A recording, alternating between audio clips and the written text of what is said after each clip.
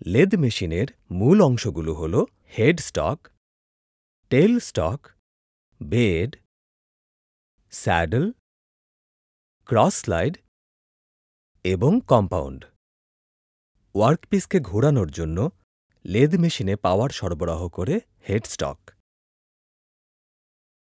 এছাড়াও, এটি ওয়ার্কপিসকে ফিক্সচার অ্যাটাচমেন্টের সাহায্যে ধরে রাখে। টেল স্টক লম্বা ওয়ার্কপিসকে সাপোর্ট দেওয়ার জন্য ব্যবহৃত হয়। অথবা ওয়ার্কপিসের শেষ প্রান্তে কোনো অপারেশন করতে হলে টেইল স্টক ব্যবহার করা হয়। যেমন, এখানে একটি ড্রিল চাক আছে, যা ওয়ার্কপিসের শেষ প্রান্তে ড্রিল করার জন্য ব্যবহৃত হয়। লেদ মেশিনের বেডের উপর দিয়ে যেটা চলাচল করে, সেটিই হল স্যাডল।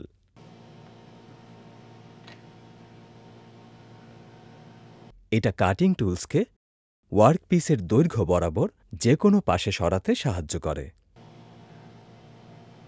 ক্রস স্লাইড কাটিং টুলসকে ওয়ার্কপিসের ডায়ামিটার বা ফেস বরাবর সরাতে সাহায্য করে।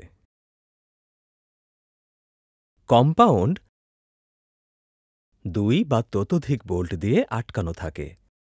এই বোল্টগুলোকে লুজ করে কম্পাউন্ডকে প্রয়োজন মতো যে কোনো কোণে ঘোরানো যায় এবং যার ফলে ওয়ার্কপিসে টেপার কাটা যায়। আমি এখানে লেদের অংশগুলো পর্যালোচনা করব। এটি লেদ মেশিনের বেড। হেডস্টক বেডের এক প্রান্তে থাকে। টেইল স্টক বেডের যে কোনো স্থানে স্থাপন করা যায়। এখানে যেমন দেখানো হয়েছে। স্যাডেলও লেদ মেশিনের বেডের উপরে থাকে। ক্রস লাইট স্যাডেলের উপরে থাকে। এটি লেদ বেডের সাথে সমকোণে বা লম্ব বরাবর চলাচল করে।